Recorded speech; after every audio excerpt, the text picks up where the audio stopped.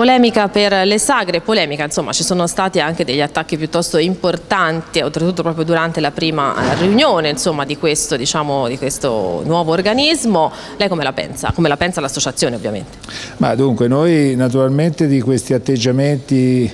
che possono sembrare un po' intimidatori credo che debbano fare a meno anche coloro che rappresentano quelle istanze perché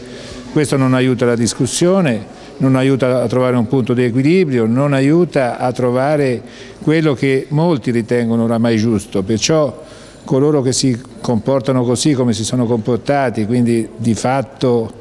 eh, diciamo così, insultando anche l'assessore a cui va il nostro sostegno, la nostra solidarietà, non aiutano nemmeno coloro che fanno le sagre che poi hanno una ragione storica,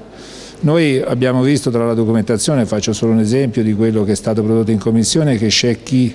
organizza una sagra e in questo caso è presente la pizza ma installa 13 forni, non, quindi è una pizza industriale. Siamo a questi livelli in taluni casi quindi coloro che protestano